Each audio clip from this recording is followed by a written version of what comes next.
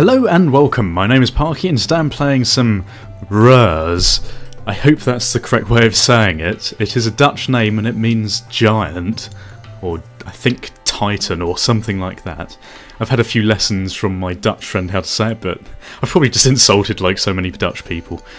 Anyway, this is a smallish indie game, um, which is pretty hard to explain. It's sort of a simulation sort of strategy type thing, but to be honest, probably the best way of describing how it works and what it's all about is to actually just play it. Now I do apologise to people who have played this before, um, but I am going to play this from the very beginning. I played this a little bit yesterday just to get to grips with it and know how it works for you guys, um, but I'm going to go through it all again with you because I think it will give everyone a good understanding of what it's all about and probably mean that there'll be a few more people like raging at me. Uh, but yeah, we're going to do the beginning of the first era and there might be a little cutscene or something, so I'll just shut up if there is. Okay, so here we go. Introduction. You have awakened from your slumber. You find your surface dry and barren. It is lifeless. Zoom in and out. So this is just obviously the uh, tutorial of zooming in and out and all that rubbish. So use the left mouse button to drag the planet around. This is our planet. Um, as you can see, it's it's an a slightly unusual game at the moment. It gets very interesting, I think, anyway, because we can use the arrow keys to move left and right. Uh, this is again just rotating, but I prefer using the mouse. Uh, create the giants using what little strength you have. You create the ocean giant and rock giant, the instruments of your will.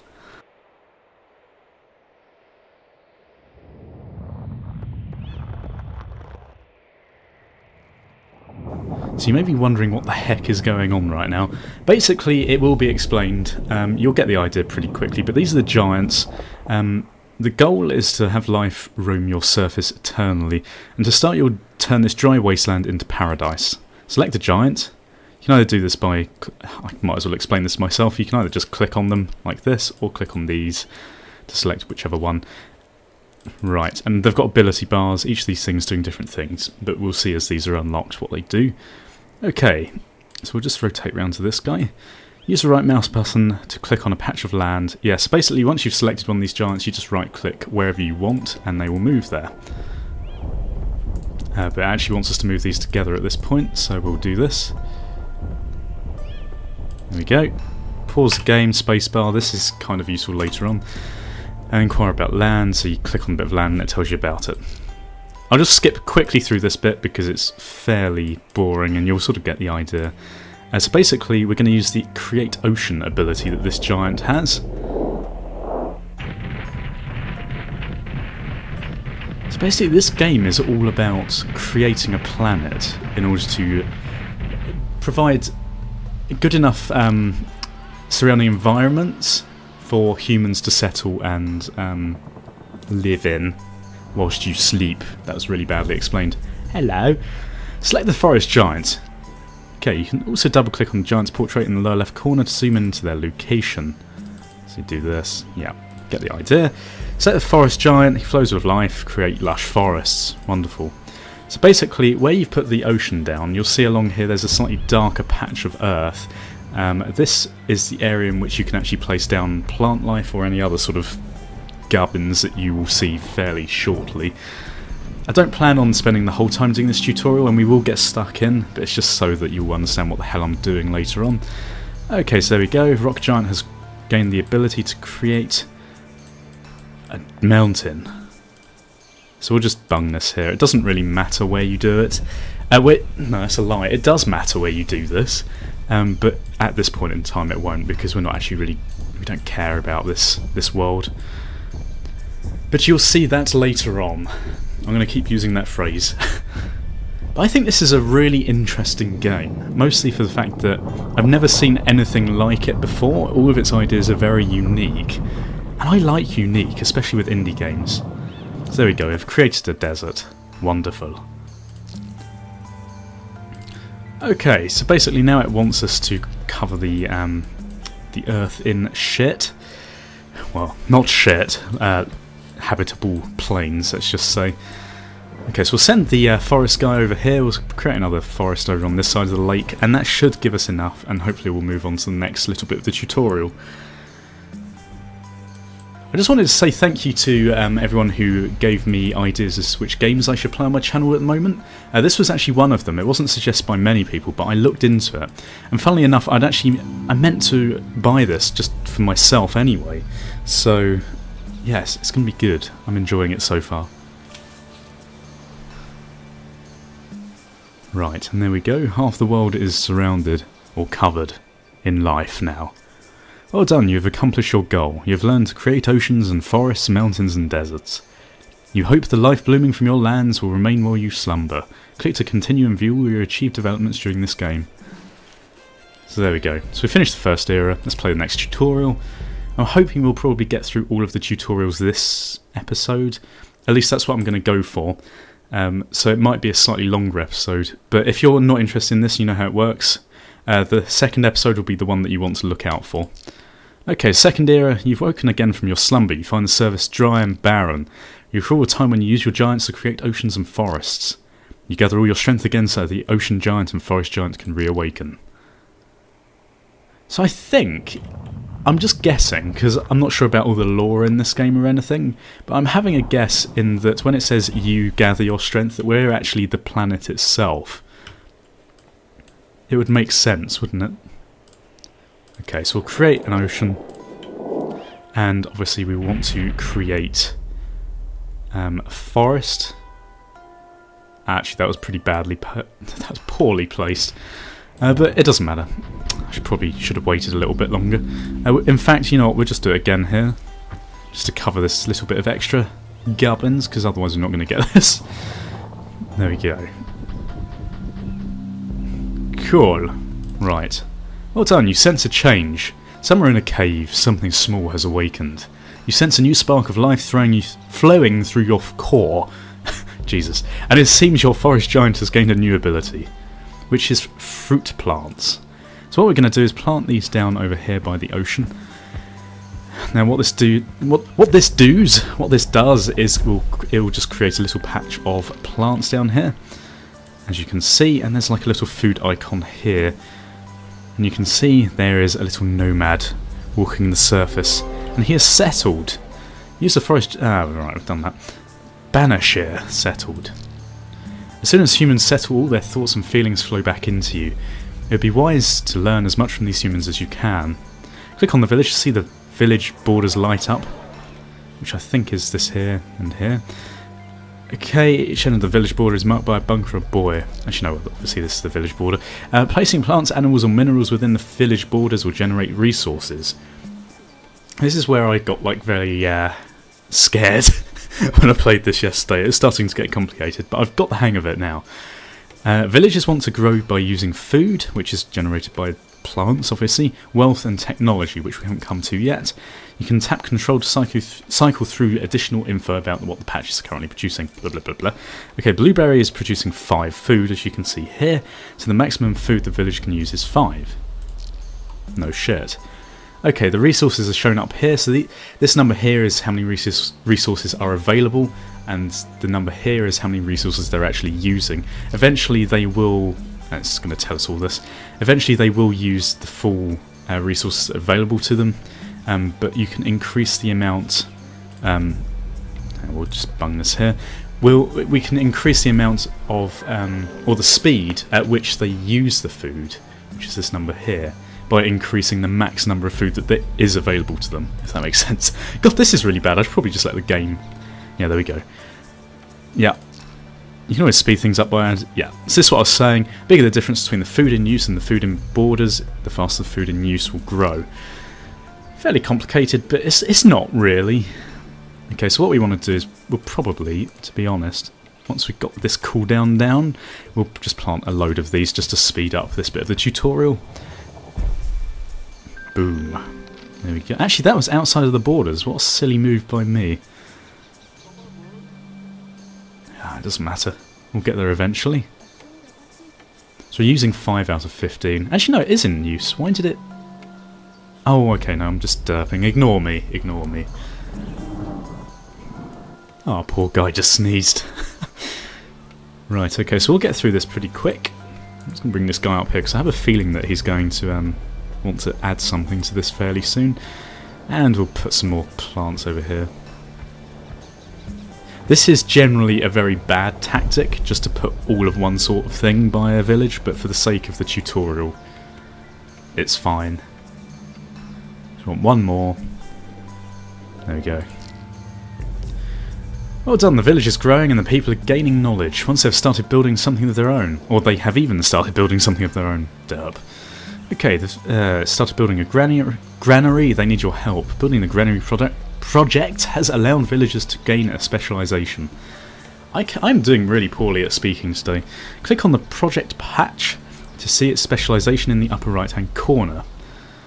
Which is here, mushroom eaters. Plus 15 food for each mineral within the borders. Okay. This, this specialisation requires minerals to provide its boost. Giants lack the skill to create these minerals. Completing the project could help remedy this. Okay, yeah, so basically this is our objectives. We need 20, uh, we've currently got 12, so what I can do is probably uh, just bung down a load of... Oh, oh no I can't. Oh, sorry, I'm not... What derp? Sorry, this is me derping. Uh, so we want to put down some of these animals now, domestic animals, which is unlocked by the ocean giant. There we go. Click on the animals to view their range light up. Click the patch of chickens to view their statistics. Again, it just works in the same way. Um, so yeah, placing uh, chickens and blueberries next to each other gives them this boost. Uh, where is it? Yes, plus 3 food for blueberries within the animal range. So there we go. So replace a few of the blueberries with chickens, which I think is a very, very good idea. So if we replace this one in the middle over here, we'll get the effect of both of these blueberries either side, hence boosting our overall food. Don't worry, this does this does get more exciting. I'm hoping people haven't just tuned out now because they're bored. That would make me upset. It's definitely worth sticking with. So there we go, the granary is complete. Let's carry on. Well, so please excuse me, because at the moment I'm feeling a bit blocked. I feel as though I've got some sort of cold coming on. Uh, because of your positive positive influence, the villagers have decreed their ambassador to join you. The ambassador wishes to climb upon the shoulders of your giants and increase their strength. Okay, now what this does, it'll probably explain, is basically when you choose a giant to pick up the ambassador, it unlocks one of the skills next in its um, skill branching tree type thing. Select the rock giant, use the right mouse button to pick up the ambassador and this will unlock this raised mountain or probably this precious metal one.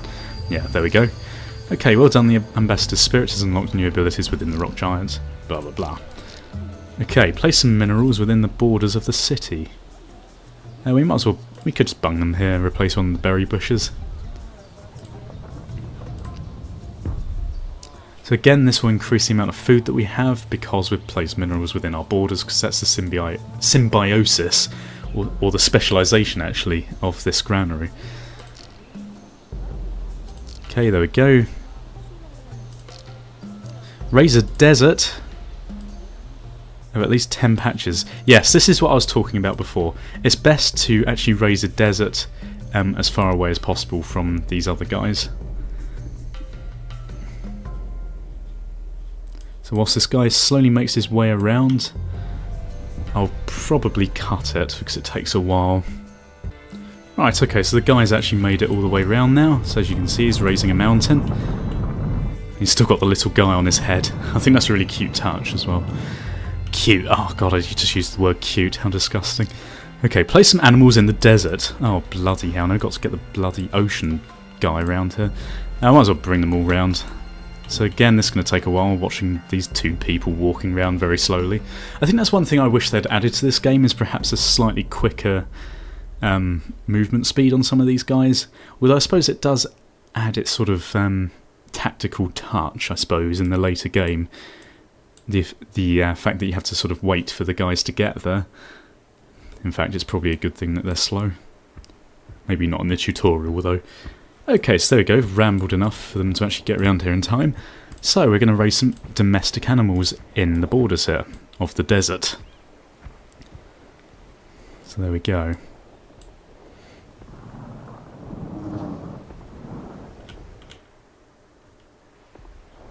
Right.